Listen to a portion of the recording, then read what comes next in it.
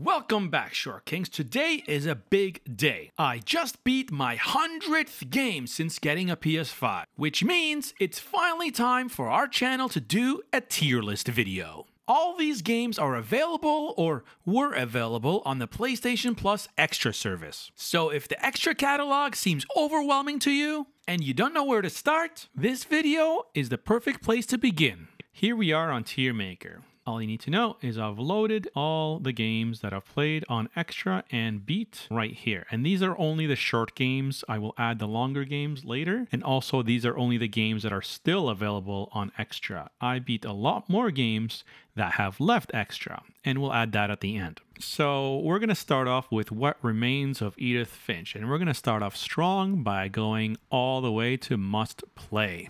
That's right. This game is one of the strongest short games you can play. I think it's only like two hours. And after playing it once, you're going to remember the story for a long time. It really sticks with you. It's basically like a walking sim, but it's very creative with its storytelling. Okay, Hotshot Racing. I'm going to put it probably D. I'm sorry. it's a really fun racer and it does what you expect from a racer, but there are better games to play on Extra. Okay, Transference. This one is a game, it's very trippy, it's horror. This one's between C and D, but it's basically like a, a game meant for VR and it blends like uh, digital and also real live action.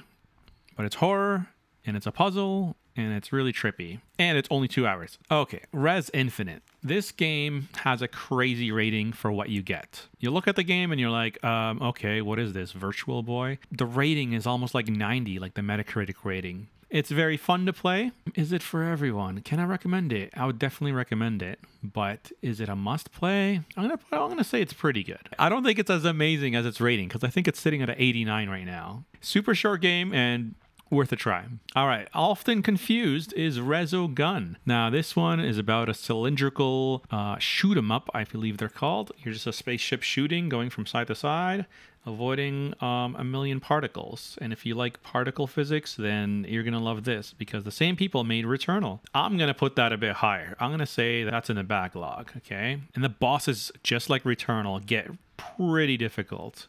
So all these games are like a one sitting game. These are all like two hour games. Okay, Gigabash. This is a newer game that was added. It's about like kaijus and fighting monsters and stuff, and it's very like Japanime themed. I'm gonna put it down here. I don't know if I'd recommend it or even playing it. but it was really good. I had a good time with it. Gardens Between. Okay, this was one of the first games I reviewed. It's a puzzle game. I love puzzle games, so you're going to see a theme here. So I'm going to move it up all the way to pretty good. Play as the boy or the girl. One of them controls time, the other one controls like traversal. Only two hours. One of the easiest platinum you're going to find in this entire list. You're going to be able to get a PlayStation Platinum in, in two hours. Okay, Avicii Invector. I've already talked about this game in the 50 short games compilation video. It's like Guitar Hero, but you're a spaceship. And also the controls are a little bit harder than Guitar Hero. It's not just button presses, it's like twists and turns. I'm going to put it in pretty good. I don't think it's like a go out and try it right now. Okay, Superliminal. This is okay. This is this is the opposite. Okay, I think this one only has a 79 or something. I'm gonna put this all the way up here. Is it a, is it a must play? I'm gonna put must play at least for five minutes. Like just play the first five minutes. Okay. The rest of the game, I don't know. I don't know if it's worth beating. It might be back here, but I'm gonna move that down later. But it's definitely a must play just to mess up with your head. Okay, unpacking. This is a weird game. You're basically opening up boxes and moving in your character, and you decide where all the items go. It seems like a really boring game, but it's really addictive and it's over really fast. Oh man, is it as good as Resogun though? Mm, no, it's it's pretty good. Okay, okay. Calm down there. Tetris.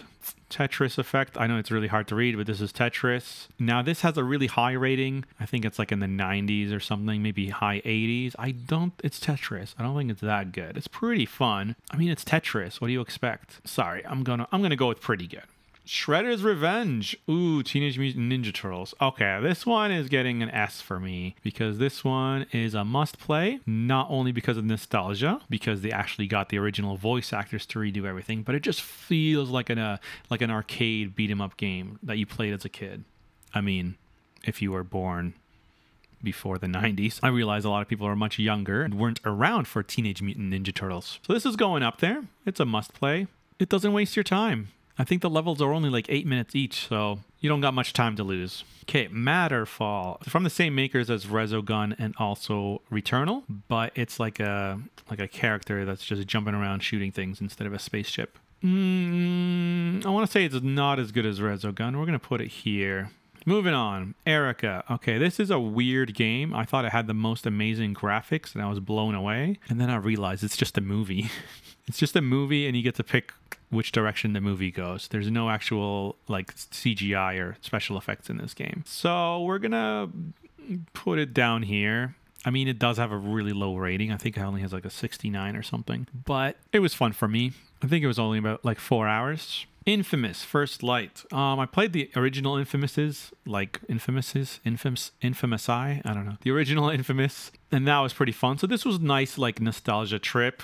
I'm gonna say it's not for everyone. It's not bad. It's a really good game for what it is, but it just feels really dated. So I'm gonna put it right there. Pedestrian, another puzzle game. This one combines 2D and 3D and worth playing to the end. So I'm going to put that all the way to A. Is it a must play? I need you to play the end so you can experience what I experienced. But a fun puzzle game. Let's just leave it at that. Metal Hellsinger. Okay, this game's supposed to only take like four or five hours, but it took me three days because the final boss was insane. It's basically if Guitar Hero had a baby with Doom Eternal. I'm going to put that. It's really unique. I'm going to put it up here. You're going around shooting and slicing and everything, but you have to shoot and slice on the beat. Like you're not just looking at like here, let's let's just press these buttons on time.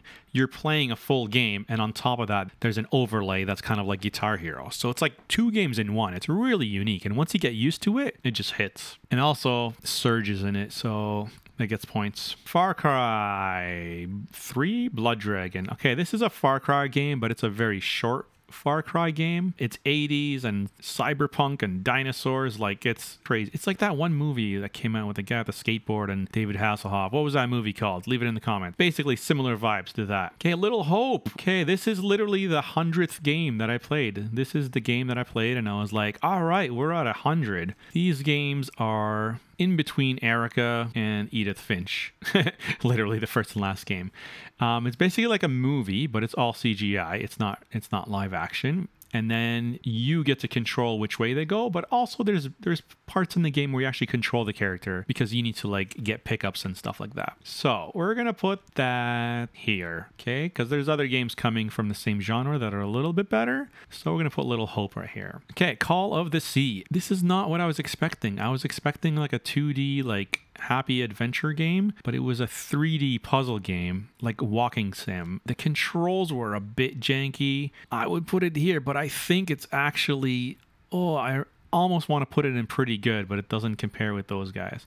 So we're going to put it here because the story is really good. I really like the story of it. The gameplay not as great. Like it felt really slow. Like the character walked so slow. Other than that, it was really good for what it was. Very short game too. I think like under five hours. Far changing tides. Okay, this one's definitely better than that one. So we're gonna put it up here. It's you and your ship going for a long journey. It's kind of the same vibe as Inside, like those kind of games, where it's just going from left to right, but you're in a ship and then you're constantly repairing your ship and finding new upgrades, trying to find out what the game is about because there's there's zero dialogue and zero context of what you're trying to do. It's all just visuals. Okay, Hotline Miami. Just thinking about this game makes me want to play it. So I'm going to vote it a little bit higher. It's like an old school, like Nintendo style from above like those Die Hard games. Remember those Die Hard games for the Nintendo? Personal preference, but I do like those games, so we're gonna put it up here. 1111 Memories Untold. Okay, this game's about the war, World War One. Different perspectives. You're from a Canadian and also a German, and it's, its story is really good and starring Elijah Wood. Um, the gameplay is okay. I'm gonna put I'm gonna put it over here. I'm gonna put it over here. I actually enjoyed it, and the art style is like impressionist style. So I want to say it's not for everyone, but I think we should play it. I think you should play it. Okay, moving on. moving on. Moving out. This game is the prequel to unpacking.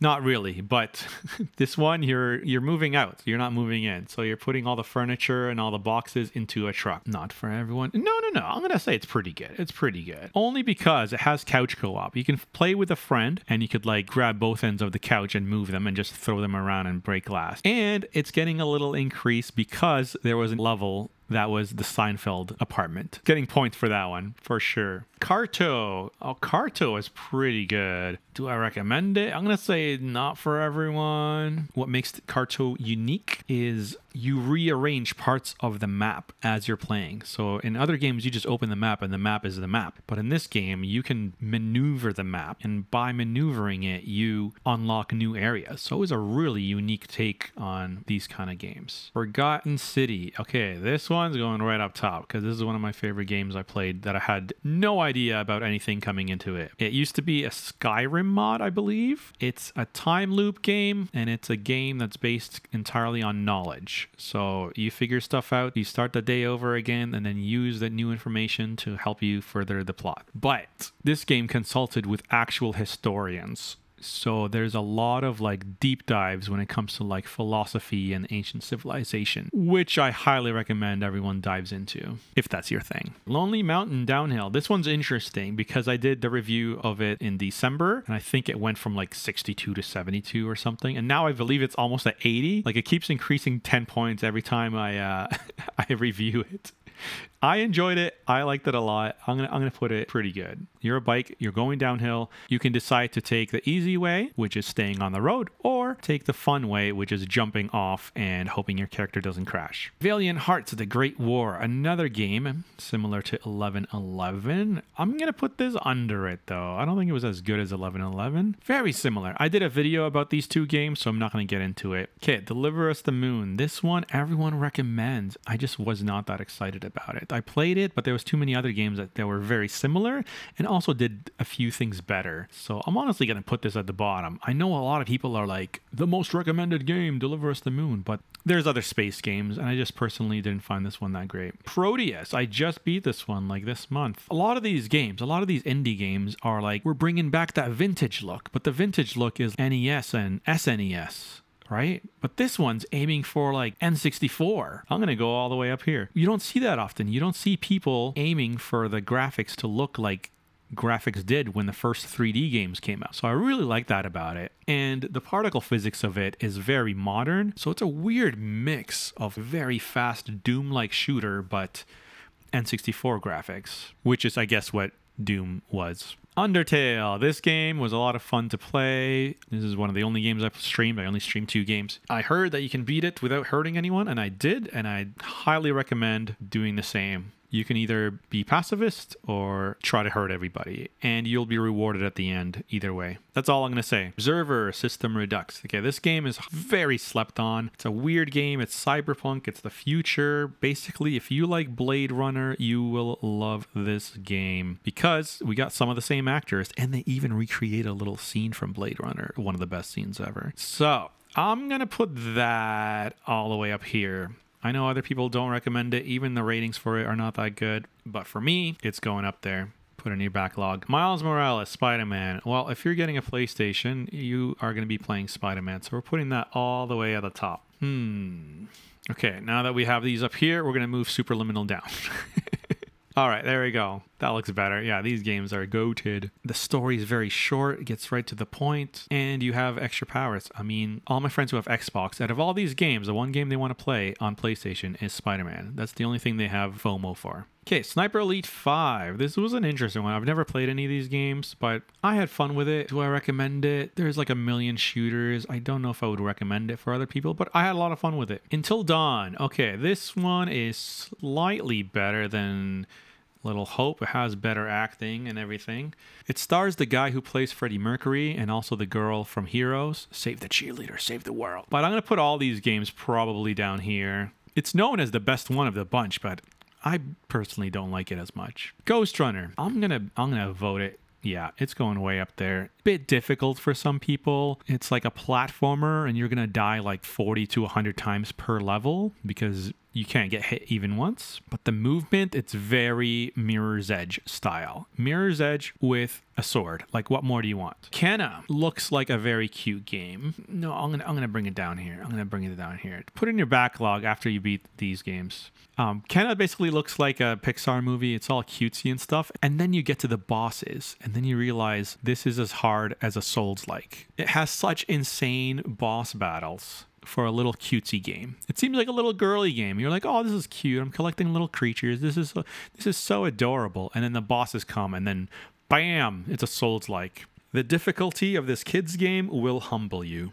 Okay, and then we have this is a bonus one, so let's just say 101. You get this when you get a PS5. It's just included on your system. I don't know if it's available on extra. It might be a, a bonus one, so I'm not going to count it as part of the 100. But what we are doing is putting it at the very top. So Astro's Playroom is a must play. If you have a PS5, you must play this game. Do not download any other game when you first get a PS5. Literally just play this game to figure out what the PS5 can do. And then play other games and be disappointed that none of those features are being implemented. All right, well, that concludes all the short games that are still on Extra that I have played and beat. Next, we're going to throw in the long games.